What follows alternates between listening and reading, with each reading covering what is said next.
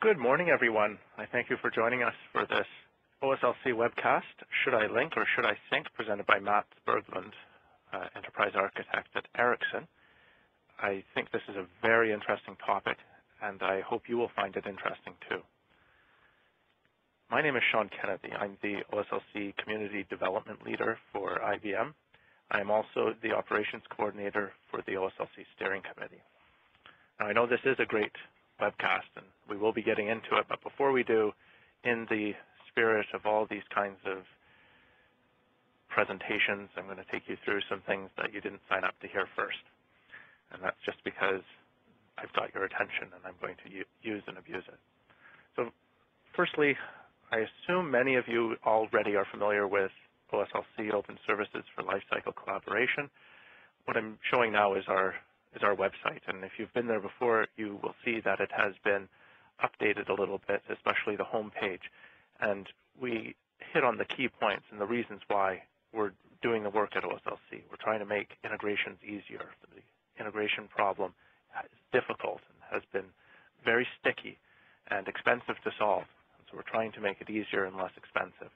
We're trying to do it with uh, robust and flexible integrations, a loosely coupled way of doing integrations you know, based on the architecture of the web. This will help us get more data out there so we can do more with the data. It's not so much about connecting tools as exposing data to additional services that may be provided across the enterprise, such as search or uh, analytics or reporting.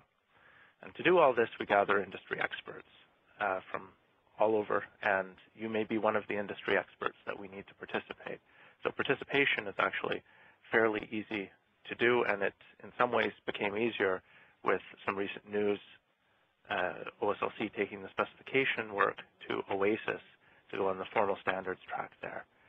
Our specifications are minimal, minimalistic, and we try to do just enough and iterate over that so that um, what you see in, say, OSLC v2, which is the latest final specs today, is an advancement over what was there in the first, but we could still get things done. You know, some basic scenarios were enabled even with the first issues of OSLC specs. And as I mentioned, we're inspired by the web. Everything we've done has been implemented, and that is helped by the fact that the specifications are small and it's easy to digest and then ultimately easy to implement and uh, test.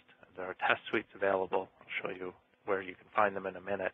But if you actually create a OSLC provider, there already exists a suite of JUnit tests that you can point at that provider and see how well your implementation has done.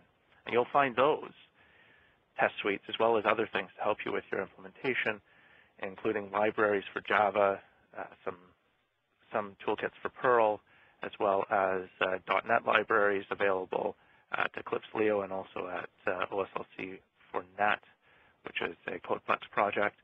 As I mentioned, we have the test suites. We also have reference implementations so when you're first getting started, you can actually pull up a reference implementation, pull up a test suite, uh, have them run against each other, and watch what happens. And you can learn very quickly that way.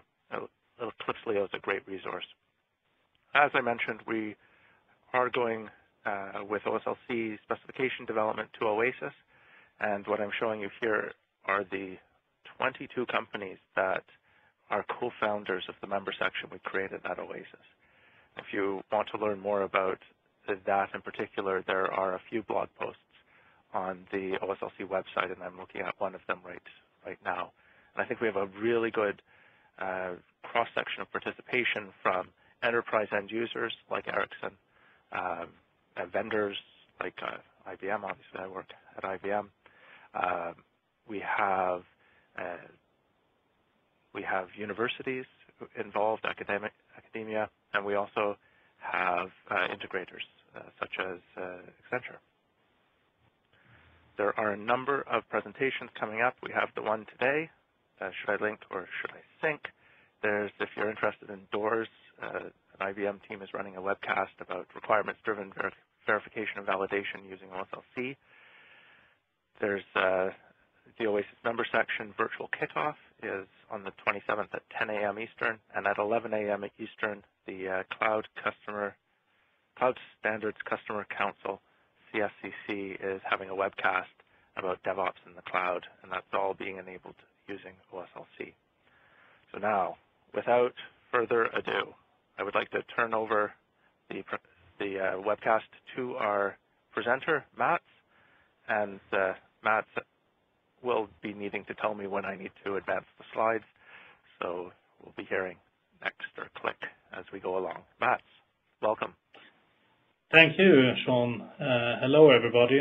Good morning in North America, good afternoon in Europe, wherever you are in, in on the universe.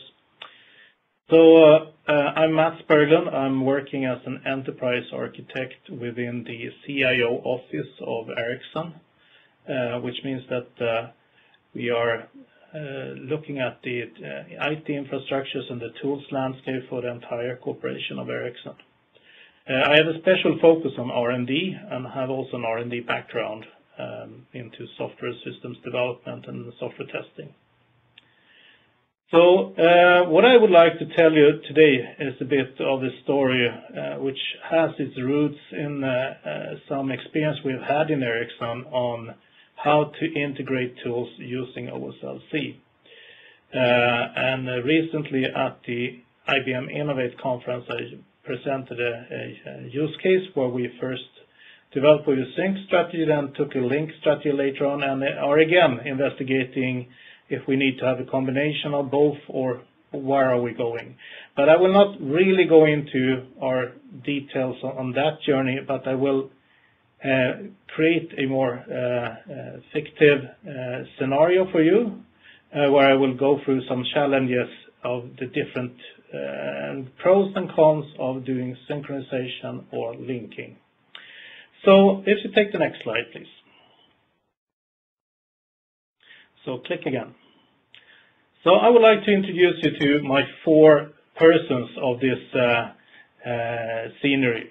So we have Patrick here. Patrick is a project manager, uh, but is actually more than a project manager. He is also a bit of a product manager or product owner since he's working with uh, responsibilities like requirements management and portfolio management which is more a product manager role, and he's also into managing the time plan and roadmap, the progress and the follow-up of the project that he is running. So Patrick, he loves really to have roll-up dashboards from the subordinate units that he has full control over what goes on in the project. Click. Then we have a development team. Uh, Diana is the development team leader. She's running a cross-functional team uh, according to agile practices. There are both system architects, software designers, software testers, and system testers in this team. Uh, this team is particularly concerned about working agile. That means that they love Scrum. Click again.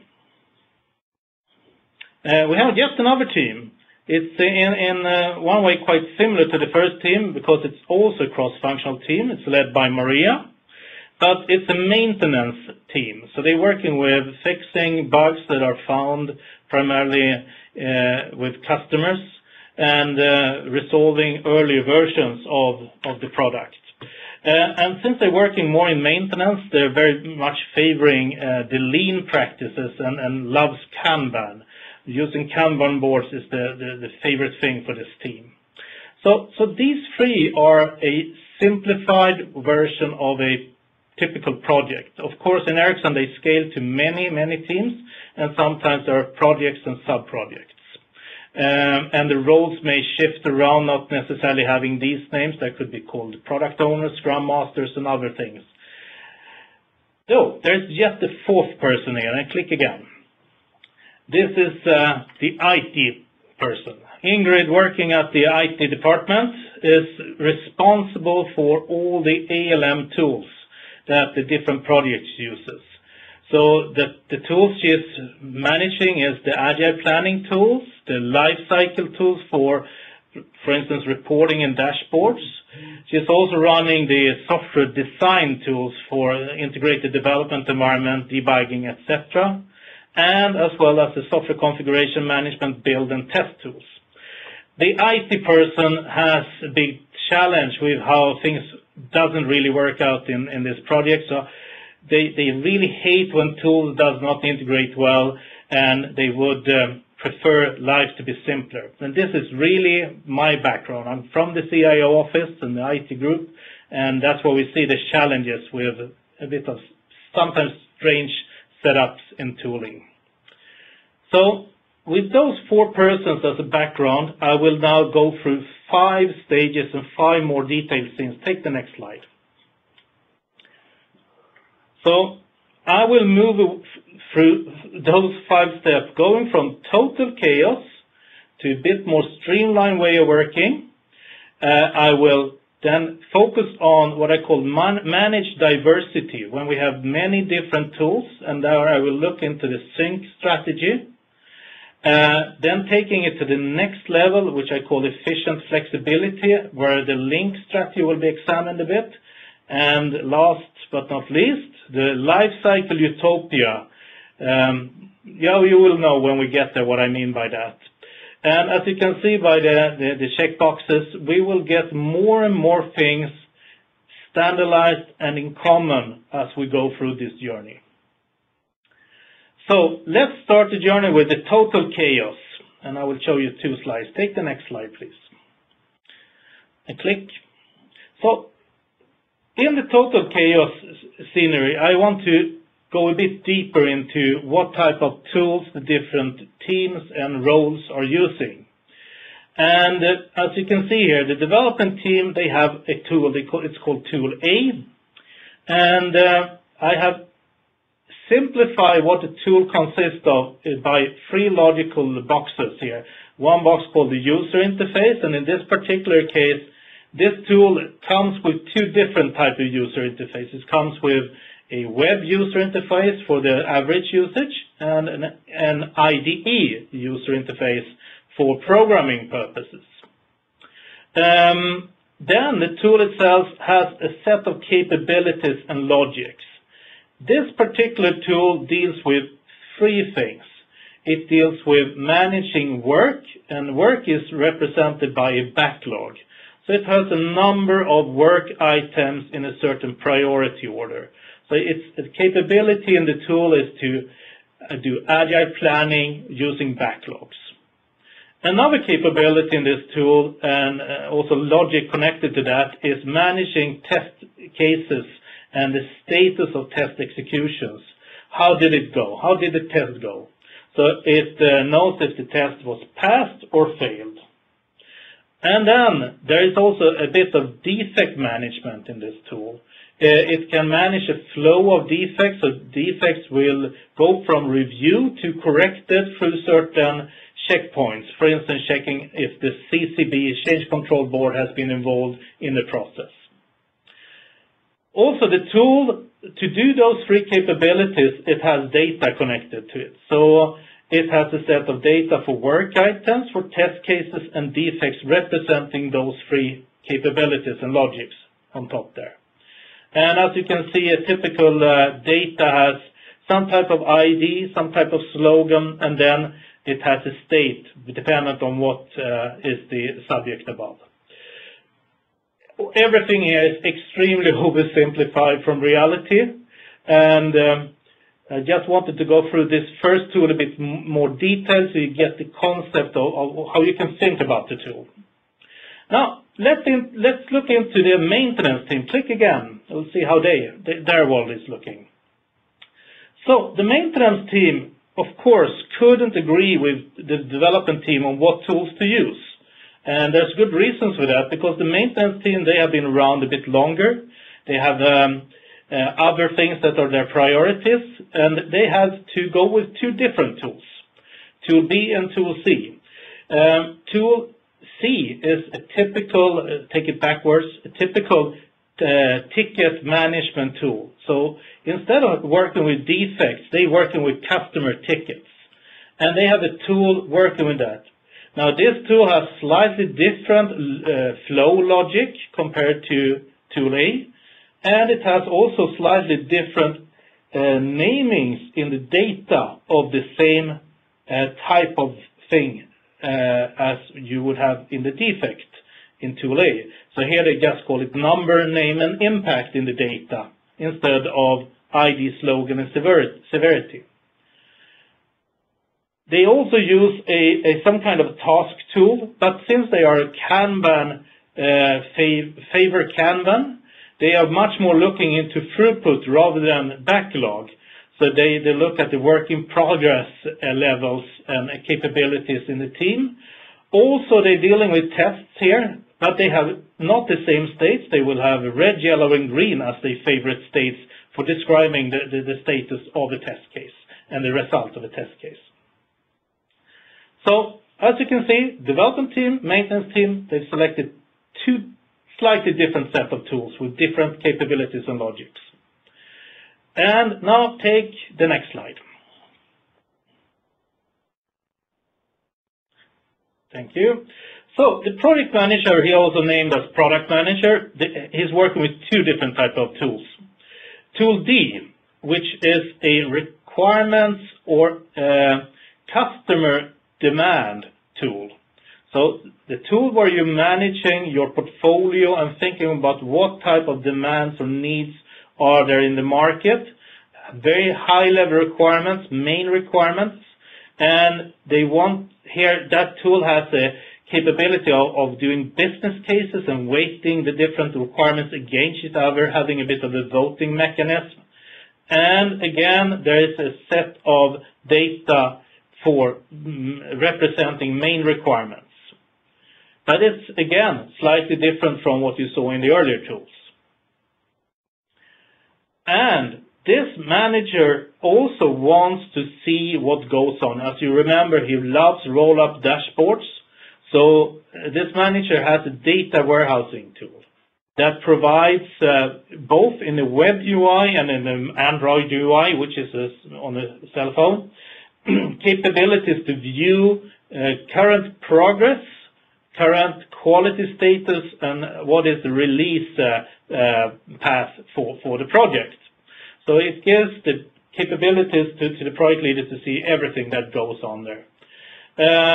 To, to see progress, it really needs to follow up what work has been done.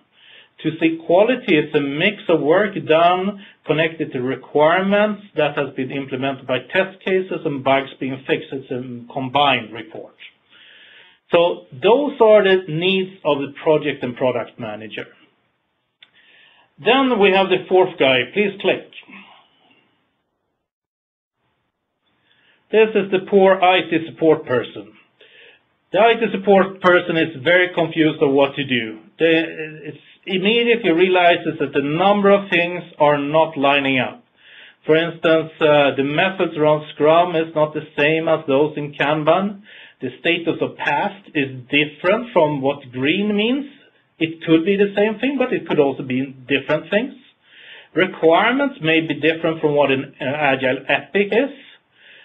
Tickets, not necessarily the same thing as a defect. Uh, a state uh, machine may not differ from another state machine, or a logical process flow may differ from another logical process flow, which is used in another tool. So the IT support guy doesn't really know what to do about this. It's a mess. Normally what happens at this stage is that the project in some way turns to the IT organization and say, we have certain integration needs. Could you please help us to integrate tool A to tool B and tool B to tool D? And it starts to becoming point-to-point integration for different type of artifacts in the tool. And that's fine as long as there's one or two point-to-point integrations. But in most organizations, already in this small scenario, you will have five different tools involved and there are like uh, eight or 10 different artifact types, some similar, some slightly different, that needs to connect together. And already there, it's starting to explode. And now imagine we have multiple teams, or if we have even multiple projects, this become a, daunting task for the IT support to deal with. And it's a headache. So that's where we start off from. That's the total chaos situation.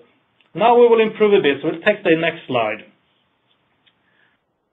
And we'll talk about a bit on streamlining the way of working. So if you click up two more.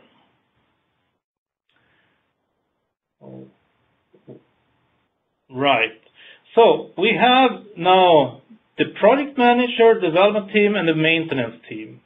So even before starting to figure out how can we get things aligned with getting tools integrated, there are certain things that can be eased only by agreeing on how we work in projects.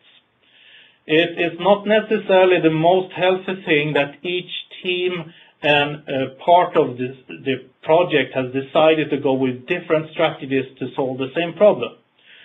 So the project manager that needs to see progress is a bit concerned that one group works with Scrum and the other one with Kanban. There's two different metaphors of representing progress. So one first thing to do could be to streamline to have one set of methods in the project. So if you click the next one, they agree on cutting out the Kanban way of working and agree on the Scrum way of working in the project. Click again. And instead, the maintenance team will also work with backlog and by some manual tweaking with Excel sheets, the project manager will now be able to collect the work items that has been done in the two different teams and roll that up to a progress report of a burned down chart type. Of course, it includes a set of manual work or some scripts that pulls data from the backlogs into Excel and from Excel to, to a chart. But it's doable. So this is the first level of alignment we probably need to do uh, to some degree to just get some order in, our project landscape. Now, don't take this as I'm not saying that you can't run Kanban and, and Scrum at the same time. Of course, they can be used for different contexts, but it's a bit of oversimplification here. So, but the message is some level of streamlining on how we work is healthy. Let's, now go to the third level. Take the next slide. Manage diversity. So, we have the development team, click the next one. And the maintenance team. There are certain differences in how the development team does compared to the maintenance team. So let's take the click again, and we get the pair of binoculars coming in here. So if we zoom in on the, the logic part of the two different set of tools that are decided by the two teams, we can see that the test states agreed on in the development team differs from the test states that the maintenance team has agreed on. Also, the flow for defects differs from the flow of tickets that the maintenance team has agreed on. I guess you're already now starting to ask yourself, why did the team differentiate so much? Is this healthy? And I can see two different trends uh, going on in the company we are working in. Sometimes the organization are quite strong upfront to agree on ways of working and, and, and, also the metadata and the states you're using. Uh, but since Agile and Lean talks about people over processes and tools as one of the first things in the Agile Manifesto. We have seen a tendency that we go quite all in and blindly into embracing Agile and ask the team to be very innovative and try out their way of working and also allow them to be in, in their retrospectives able to improve their way of working, which means that they sometimes also change business logic in their tool or their project area of the tool.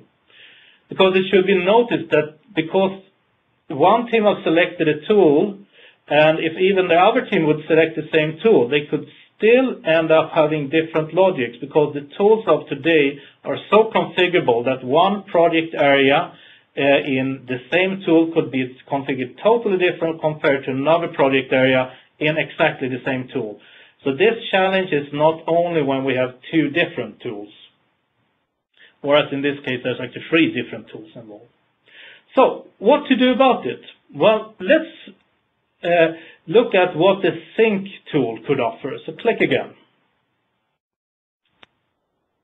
So let's see if we, if we install a synchronization tool uh, of some some of the tools that are out on the market.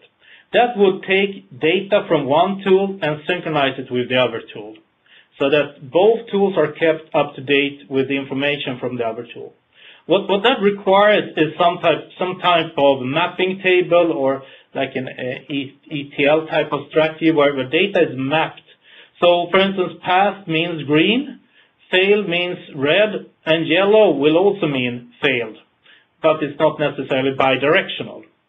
So that's a way of, of telling the sync tool how to interpret the logic from one tool to the other tool and vice versa. Same thing goes for processes.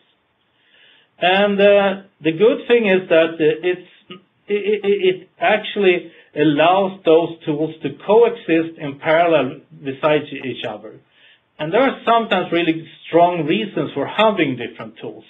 It could be that the customer ticket handling tool must be there because it serves a different purpose compared to the development team's more defect and bug tracking tool.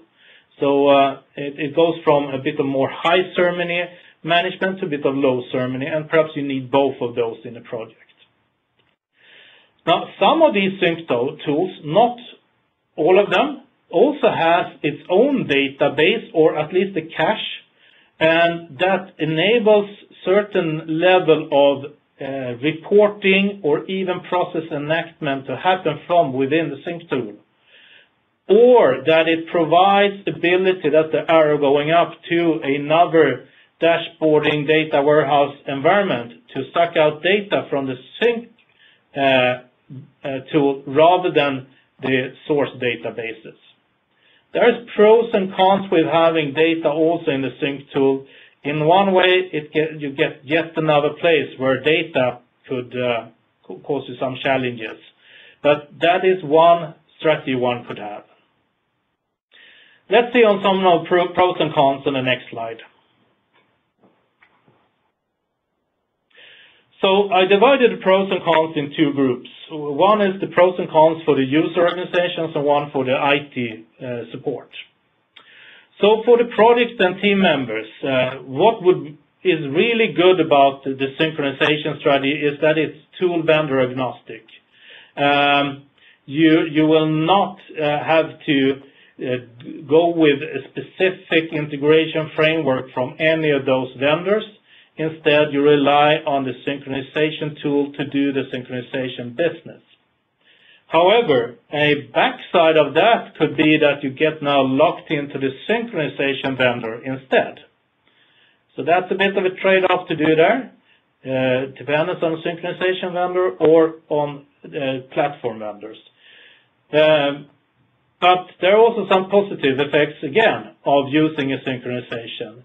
Uh, you could now have, since data is synchronized between the different tools, your favorite tool will now have all the data, which means that reports and dashboard within that tool can be easily made because you have all the data at hand within the, your own tool of, that you favor.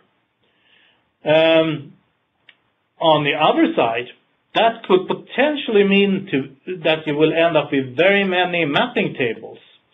In the example I just gave, there was only two teams and still some artifacts that needed to be mapped. Imagine you have many teams that you're allowed to have different uh, ways of uh, working with, metadata and, and states and processes then it could potentially become quite many mappings just only within one project. And if you have many projects, that multiplies. And there will be a bit of a challenge to maintain those mapping tables over time. Um, then, the good thing again is that the possibility to have a point of one single point where you can have process enactment and reporting if the sync tool in itself has an own database. Not all of them does, but if it has, then that can be accomplished. Or if it has a cache, perhaps that can be used in some way to suck out data for, some kind of instant reporting from more than one source. Um, then I would like to touch on something which I highlighted a bit higher and also gave an example on, which I gave a warning sign here, because in Ericsson we saw this happening. The risk when you do copy is that you also start thinking of, should we also copy the capabilities of the other tool into my favorite tool? Because copying data, that's, that's good. Then you get the data in, in so you can access it. But as, since you've copied the data there, probably you will also want to do the same things that the other tool could do in your favorite tool.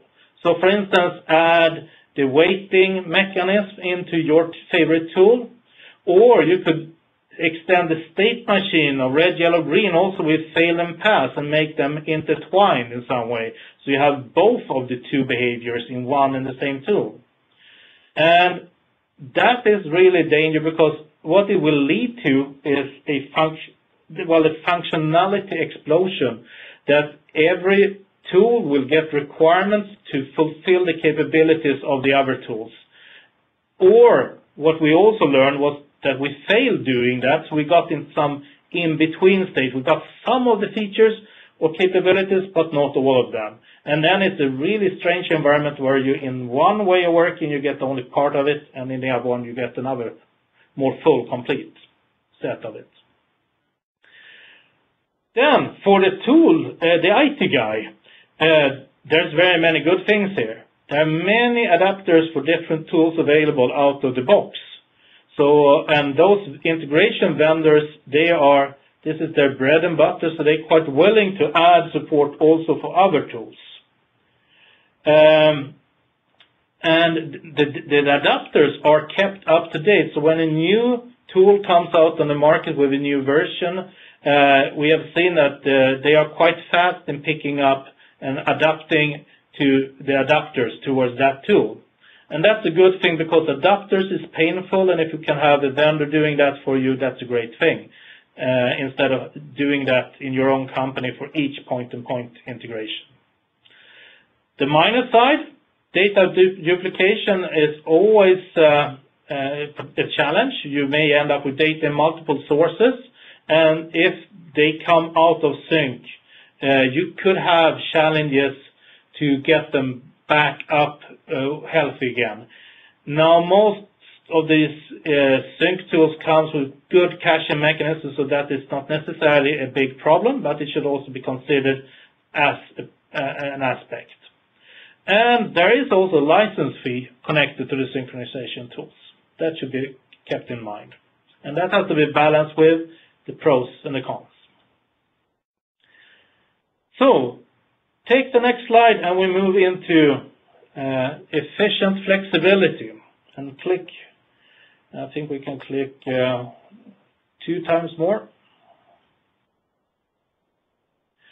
So, again, we have the product manager, the development team, and the maintenance team. And uh, in this scenario, I will now start explaining how you could use a linking strategy to accomplish similar things that we had in the previous scenario.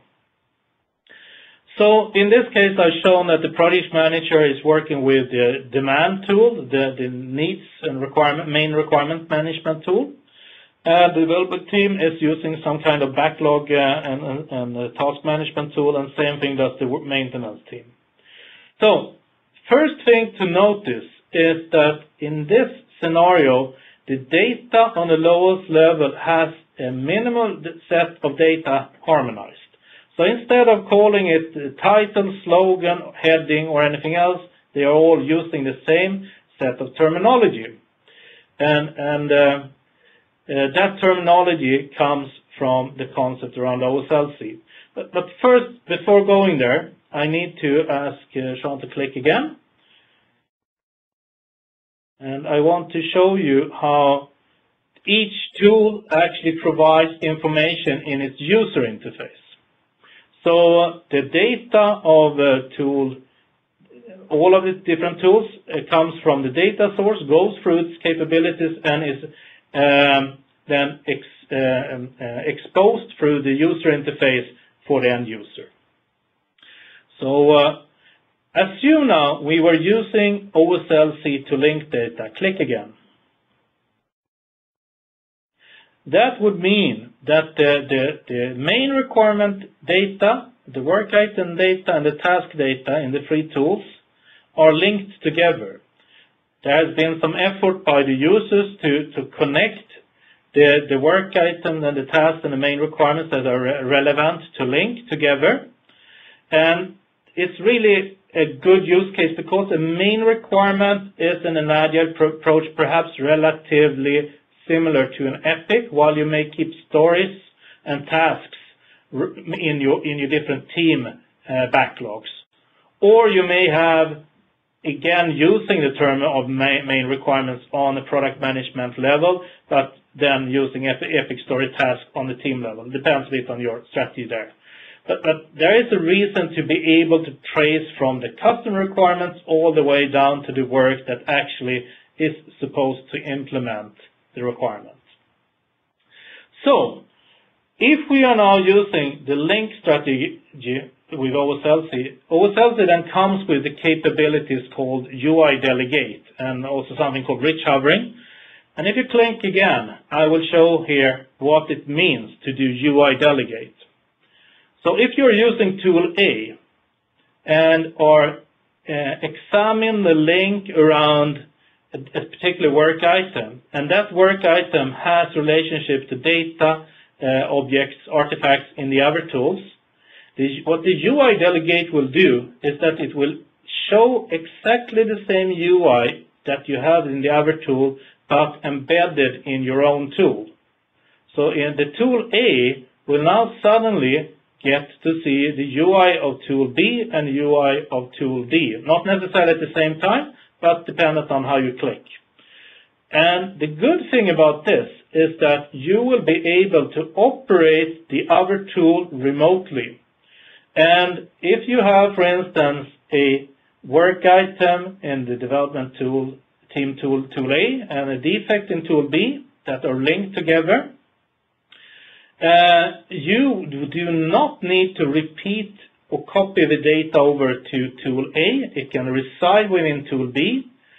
Neither do you need to copy its capabilities of doing backlogs or weighting as you have in tool D. That will all execute in the remote tool, and the capabilities are not copied in any sense or try to be mimicked within their own tool.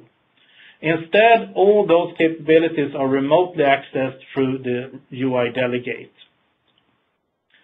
So that's very nice, and this is one of the beauties around OSLC, that it has this UI delegate capability, or if you just hover over a link, it will give you this uh, uh, rich hovering and showing some of the metadata immediately.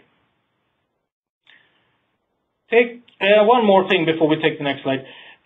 Another thing you would get from here as well, if you now have all your data uh, using the same set of uh, uh, small agreement of what the data means, which OSLC does.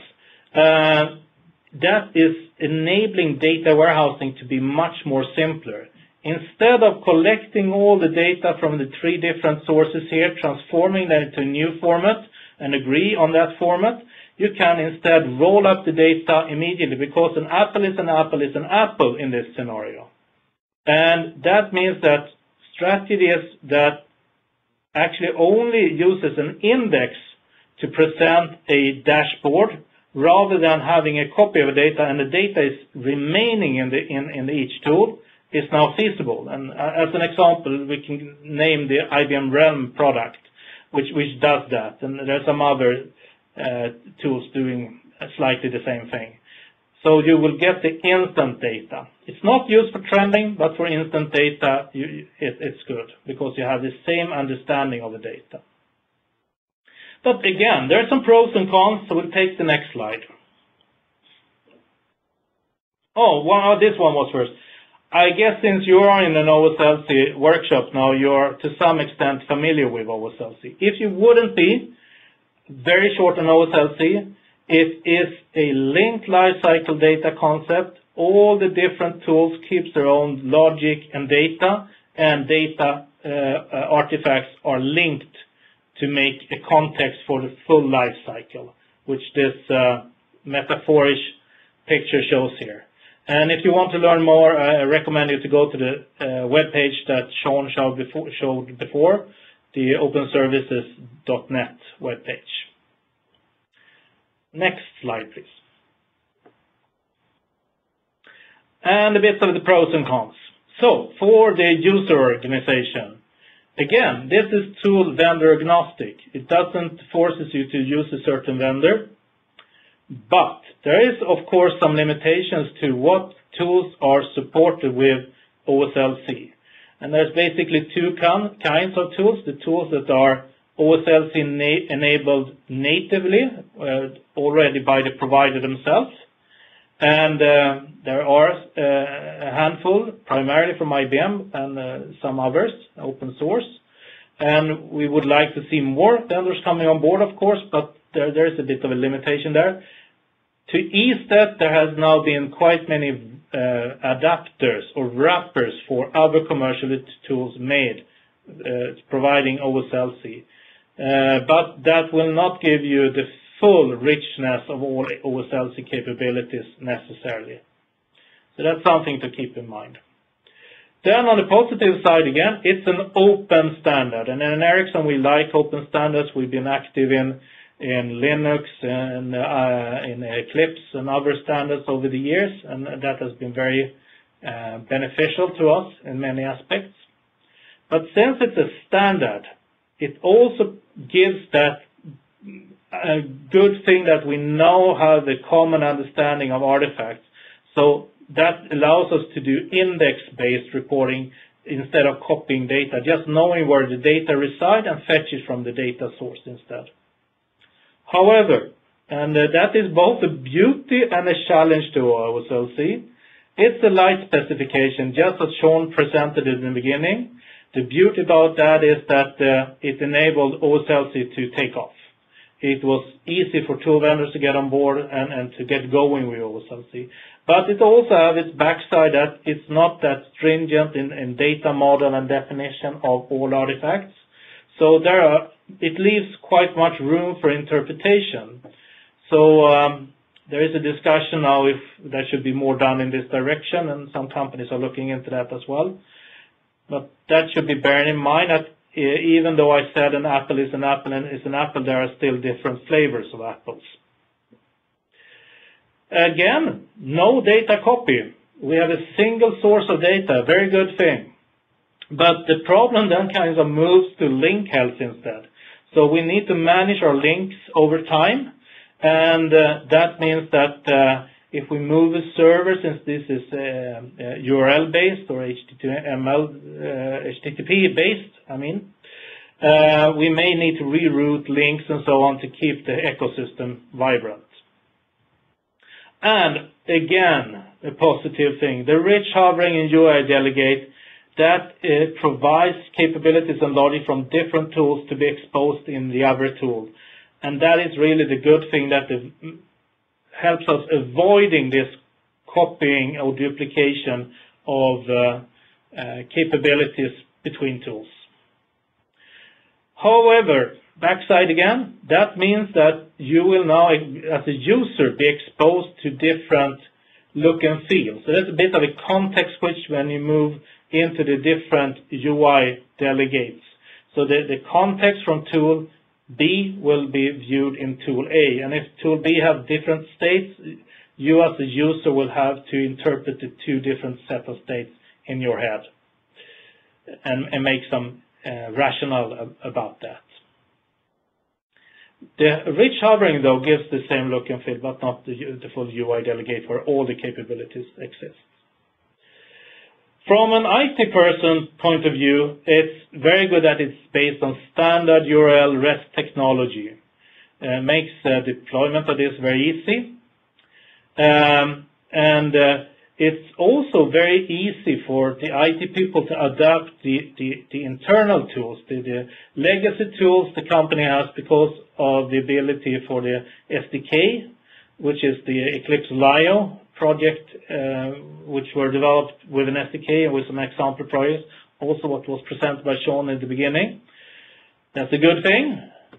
Um, then there is a bit of challenge with the adapters and the quality of those. Uh, perhaps it will improve uh, as the ecosystem around OSLC evolves, but initially, there's been challenges to have the adapters coming out with the same timing as the other tools, third-party tools, are uh, coming up with new releases. Some some of the tools comes quite frequently, and they change their native APIs, which means that the mapping towards an OSLC adapter has to be rewritten by someone. And also to bear in mind is when we have a landscape where we need to remote access many different tools, the users will have to have access in all of these tools. So there might be multiple tool license costs eh, eh, to be aware about. It depends a bit on what license model you use. If there's a corporate license, that's not a big issue, but if it's eh, per user, that could be concerning to some. When you sync, you will only need the licenses for the set of users that uses a specific tool. And then, of course, you have the license of the sync tool as well. Okay, that was the pros and cons on LINK. And then at last, I will take, next slide, the utopia scenario. So, as I wrote in my teaser for this speech, perhaps it's not worth it. It's too complicated. Let's give up. Let's agree on selecting one tool and use that for everything we need and standardize on that tool throughout the full project. Well, there are a few cases in this industry where I heard about this being successful.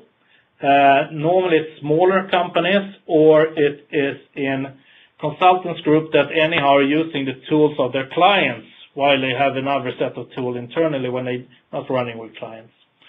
So, uh, if there were a tool that had all the type of user interfaces you would desire, all the type of capabilities you could think of that you need, and all the type of data artifacts you really need, well, then you're quite well off, actually, because um, uh, these tools are um, then you will get it self-contained into one tool.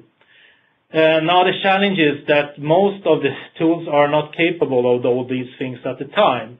Um, But there are also vendors that think they are very close to this. And what they do, and if you click again, is that they provide some type of platform that they claim can be extended to connect up the few missing pieces that you would need to have. And I should be honest with you, there are some good platforms around in the industry. So if you are in a situation where you get 90 or 80% of what you need out of one tool vendor, or at least the suite of the one tool vendor with a platform that groups that together, it might still be worth considering. However, in most of the projects I work in larger corporation, it looks more as what's on the next slide. Take the next. So this is how we have it in Ericsson. We have loads of different tools, not necessarily only these ones. There are many others. Uh, these are more like examples that we have to um, live with of different reasons. And the good reasons might be that we have done mergers and acquisitions, and we've got more than one tool in, and we can't migrate at once. We have tools that are legacy and new, and we can't do transformation at once, or it will take a couple of years. We may have tools for customer relationship and team internal relation, uh, collaboration, and they need to coexist.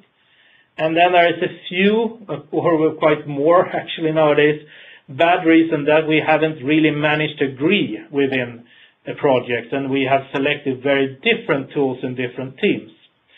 One can argue if that is healthy, and perhaps that drives more cost than benefit and uh, also a bit of inefficiency because of all these contexts. But the reality has it that we have all these different tools. And even if we could get rid of the bad reasons for having multiple tools, we would still remain with a number of good reasons for having multiple tools. So our reality is that we have many life cycle tools, some capturing part of the life cycle, some more, some less. And we need some way to integrate with them.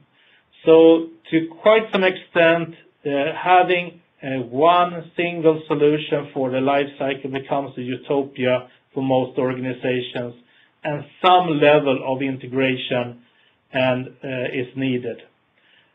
And the more we go towards automation, towards DevOps, Uh, continuous deployment, having customer requirements coming fast into the teams, um, the more we need to have tools well integrated and roll up the data to both the teams themselves and to product managers and people on higher level to be able to monitor and view what goes on so that uh, corrective actions can be taken in proper time. All that drives the need for integration. And that's actually my last slide. So the next slide is just the questions and answer uh, uh, placeholder. So thank you. That was my thinking, and I now ask Sean to open up the bridge so we can perhaps have some questions and answers. Oh, thank you very much, Mats. I think that was an excellent overview of kind of the state of the enterprise when it comes to creating uh, and managing uh, IT and software projects and also you know building anything at all, whether it's uh, in software or an embedded type product. I very much enjoyed your your presentation. Thank you. As you said, I'm going to open up the line. I'm going to unmute it so that anyone can ask questions here, as well as look in the chat to see if anyone's typed questions there. So here. All participants are now in interactive talk mode. Yes. All right. So if you have questions, uh, speak up, please. Hopefully the slides were proceeding while we were going well.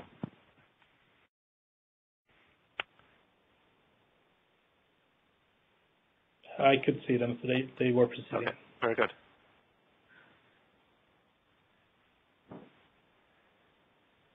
Could I ask a question to the audience? Is there anyone that recognizes these type of thinking concerns and challenges around syncing and LINK, uh, well, pros and cons and, and syncing?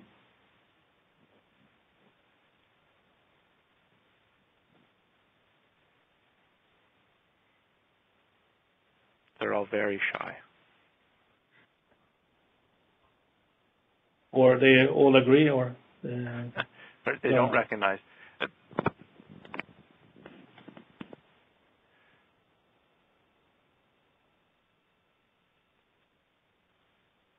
Or if you want to ask me any other generic question on our journey on integration with Ericsson, most welcome.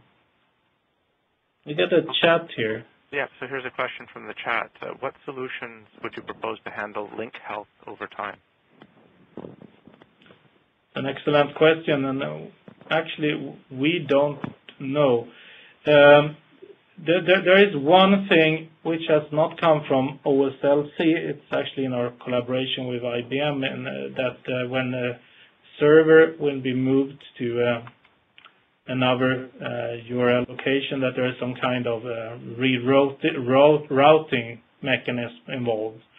Uh, but that's more on a technical level, how to work with, um, that you need to change URL location. But we have also asked ourselves, what happens when tools loses their connection to certain links and so on? That might be an area where also some of the Um, synchronization vendors may have some thinking on providing some support there. Uh, but I haven't seen anything yet myself. Perhaps someone else has an answer there. So I know that this is uh, an area that inside of IBM is being worked on, and I think in some of the implementations of OSLC from Tivoli, which would be more to the operations side, um, they they have taken some different approaches, uh, including um, including not storing uh, the direct links so that it's almost a, you could have a link proxy and coding for the fact that uh, link itself could change in the actual implementation.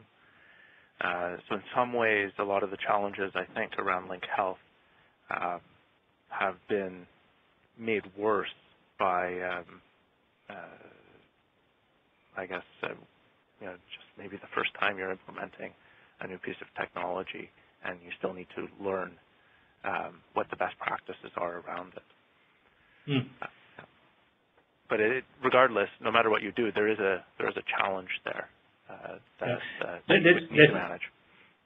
The challenge doesn't necessarily go away in a sync scenario neither, because it's about health in your uh, relation between two artifacts. And, and that needs to be maintained also in the sync scenario. So if, if there's many um, poor uh, or old uh, links or syncs between two artifacts, they, they still need certain maintenance and, and, and gardening over time. Um. And, and it's a potential uh, strategy there, I, I, suppose, might involve some, some level of archiving of information. Um, yes. But in a way, that's a bit of an open question still. The best practices are still to be discovered. We may have time for yet another question to see if I can answer.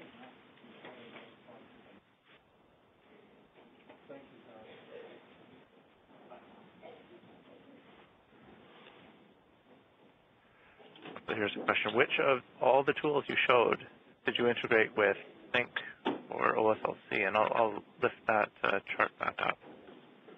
Right.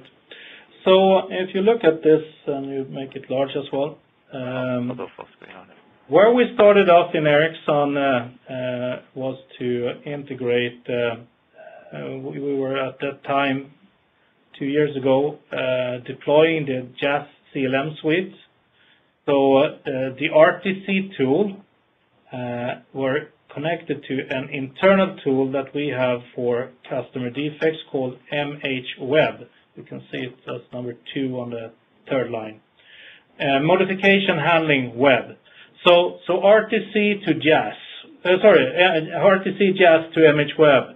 And we did that with the defect work item type in RTC towards something, an object called trouble report in MHWeb. And um, that initially we did in a syncing way, actually using OSLC. So we used OSLC with sync, which is a bit of an odd implementation, and had a bit of the side effect that immediately our creative engineers in the team started to modify the business logic in RTC to replicate all the logic of MHWeb. And that's where we realized that we were on a dangerous path and stopped that because we were almost re-implementing MHWeb. And that was not really the purpose. And we were a bit afraid that RTC would become a much uh, more heavy high ceremony tools with many states and CCB checks, etc. So we stopped that and instead went for the real type of OSLC implementation, how it's intended, with a linking strategy. And it works fine now. We have both a provider consumer in MHWeb, and we can do uh, rich hover and UI delegate from within RTC. And I also believe we have done it for RQM now as well. Uh, what uh, still is the thing is that there's a slightly context switch in the user interface for the end user. But uh, we don't find that more challenging than that you have to use two tools on a regular basis. Most most developers are using one on one tool. So that's what we've done. Okay, that that's very good, and I will um, that was our first, and we are working on a few others, but that's our biggest um, experience in that area. Just looking at this list uh, and comparing it with the list of software I know that implements OSLC natively or has adapters for it. Uh, I, there might be, there's only a handful on here that actually have OSLC support, whether natively or through uh, or through uh, an adapter. And I think that mm. that is one of the uh, one of the other things.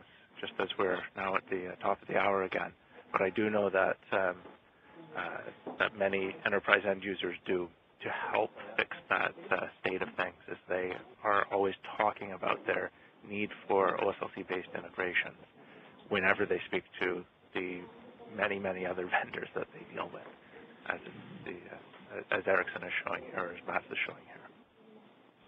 Hmm. So with that, I, as I said, we are at the top of the hour. Uh, Mats, I'd like to thank you again for a excellent uh, presentation today, and I would like to thank everyone else for, who's joined us uh, live and who may be watching the recording later. As you can see, there are a number of uh, webcasts coming up just within the next eight days. And there will also be a OSLC webcast in July that is still to be announced. But if you watch here, maybe sign up to receive emails when when webcasts are announced. You'll certainly be aware of it. And uh, we do, as is the case with today, try to make all these things available on the OSLC YouTube channel. I hope everyone uh, enjoyed the presentation and found it useful. Uh, thanks again, Mats, and uh, have a great day. Thank you.